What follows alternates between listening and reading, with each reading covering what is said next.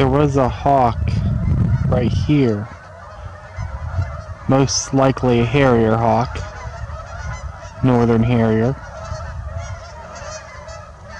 Just don't know where it could have went. Like it's camouflaged in these trees somewhere.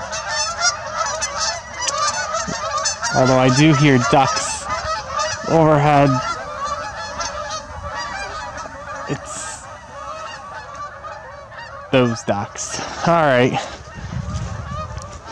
Yes, I don't know, like, where this hawk is. Oh, there it is. It just flew into the trees. Well, I'm going to keep going until I can find it. But I think this hawk's afraid of me.